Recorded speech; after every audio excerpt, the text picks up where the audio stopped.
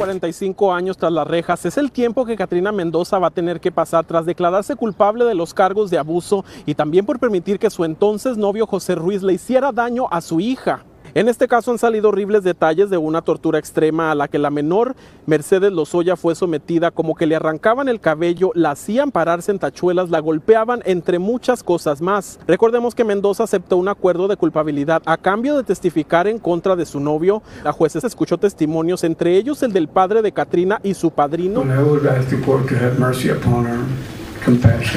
Ambos pedían misericordia a la juez, pero aseguraron que ninguno de ellos estaba enterado del abuso. Es importante destacar que durante todo el proceso Katrina Mendoza no había reaccionado e incluso se mostró fría en el estado. Tras conocer su sentencia la vimos llorando cuando la tía abuela por parte paterna de sus niñas y quien hoy cuida a su hija sobreviviente le contó que la niña vive con miedo, teme que Katrina salga de la cárcel y se la lleve una vez más con José Ruiz y también que ella pueda convertirse en la nueva víctima. Los niños le han preguntado cierto que tu mamá mató a tu hermanita, ella se siente muy, muy triste, ¿verdad? Adolorida porque todavía es su madre y todavía ella quiere a su madre. También conocimos horribles detalles que fueron omitidos en el juicio en contra de Ruiz.